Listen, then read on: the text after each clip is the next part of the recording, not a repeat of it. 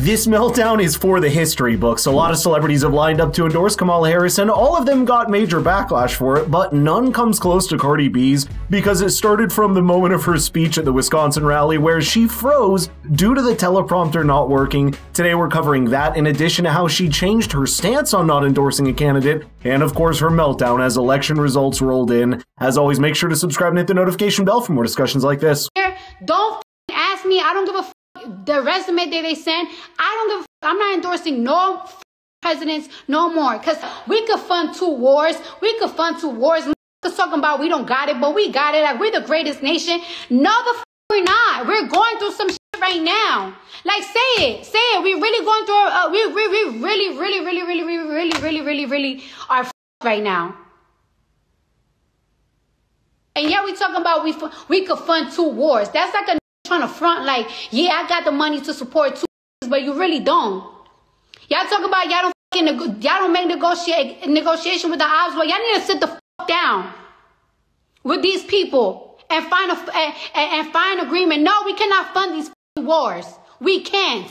Keep it a beam. We can't. You might be shocked, but this was Cardi B a year ago saying she won't endorse a candidate for the presidency and complaining about the ongoing wars in the world. That's why it was hard for many to see the endless celebrity endorsements for Kamala as genuine passion. Her campaign lacked a clear plan besides burning through a billion dollars in three months, and she had no solid platform to rally people around. Yet celebrities like Cardi B and Usher, who previously stated they wouldn't endorse a candidate, came out and supported her. You might be wondering what might be the reason behind this 180 flip. Well, it's simple money or favors. You see, these celebrities were nothing but paid actors and were hired to read lines and push talking points handed down by Kamala's campaign. This is all alleged, of course, and I'm sure you still remember how Cardi was confused and started calling for her assistant patience because the teleprompter wasn't working during the Wisconsin rally where she endorsed Harris. Elon Musk noticed her terrible acting and he quoted Cardi's speech saying, quote, another puppet who can't even talk without being fed the words the Kamala campaign has no authenticity or true empathy. Other people were quick to notice it as well and flooded Cardi's posts with comments calling her out, which led to her clarifying some things. I work so hard, bro. I work so hard on my speech. Um, and a lot of y'all talking about like, oh, why are you reading it from a phone? I had to write that down because I had to make. I'm 32 years old and I and I have three kids. My mind be raising all goddamn day. Bitch. Like it's like sometimes you sometimes bitch, I be fucking I be arguing on the on, on my shower, like fucking rehearsing what I'm gonna tell when I see them. And you know what? I forget what I be telling them. I'm like, damn, I was in the shower for 30 minutes. I was gonna say to this, but you know what? Then when I be in face to face, I be forgetting. So you know, when it comes to this right here, I've been knew what I've been wanting to say, but I had to make sure I ain't forget. So I wrote down. I, y'all gonna hear what the fuck I had to say. And I'm proud of myself. Yeah, sure, I totally buy that explanation. She wasn't able to form a sentence without dropping F bombs, but she wrote a 12 minute speech Give me a break. What's even worse is that she responded to Elon by saying, quote, I'm not a puppet, Elon. I'm a daughter of two immigrant parents that had to work their butt off to provide for me. I'm a product of welfare. I'm a product of Section 8. I'm a product of poverty. And I'm a product of what happens when the system is set up against you. But you don't know nothing about that. You don't know not one thing about the American struggle. Hmm, wasn't she a lady of the night who was robbing men before she was famous? But anyway, beside that, I find it hilarious that she's claiming the system is set up against her while she's openly admitting that her family received government welfare.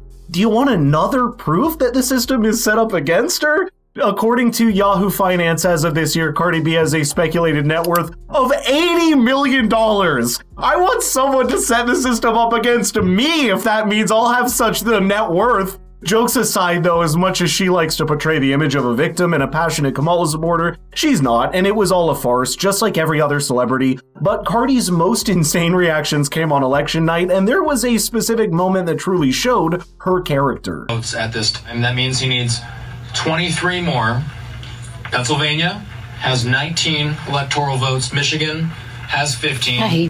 This is why some of y'all states be getting hurricanes. That's all I'm gonna say. I'm not even gonna. Y'all know. Y'all know how I feel in the beginning of the year. I did not. I did not want to vote for nobody. She. She changed my mind.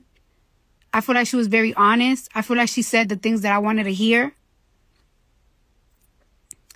when I look at her in her face and when she was talking to me, I really felt like she was very genu- genuine. I felt like she was not playing no games.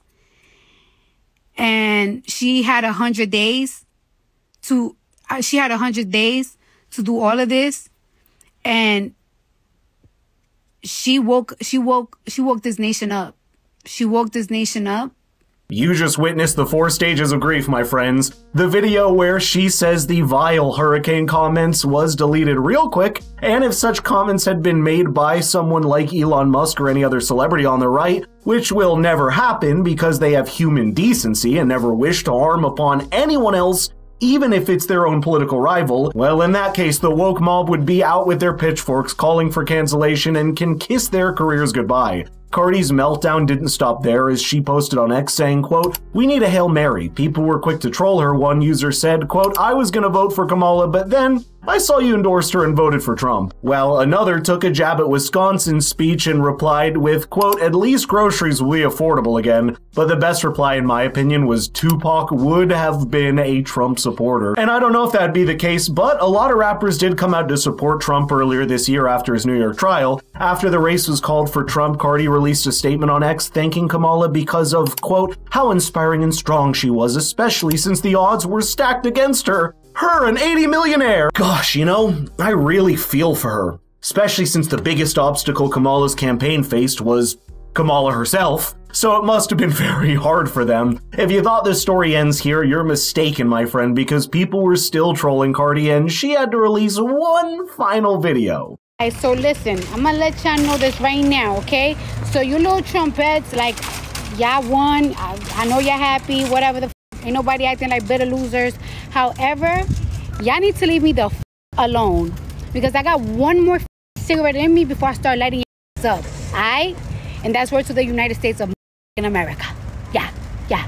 I'd say that's a classy statement. I understood it as, quote, okay, you won, I got paid, so I don't care what happens after this, so leave me alone. But I absolutely love how this election revealed that many people have decided to wake up and not follow celebrity endorsements as they once did. These people seem to hold sway over public opinion with their political endorsements, being treated as some stamp of approval, but this time around, a lot of voters turned out the political message pushed by celebrities. My advice to Cardi B and other Hollywood stars would be to stay neutral because people don't want to hear about healthcare reform or the economy or foreign policy from someone who isn't personally affected by these issues in the same way that regular people are. That said, I would recommend staying in your lane, do what you do best, and create music, films, or art because that brings people together and is far more appreciated than parroting lines given by a political campaign. I would love to know your thoughts here though, so let's get the conversation rolling in the comments down below. Oh, and by the way, if you don't want your friends to miss this, please share the video with them.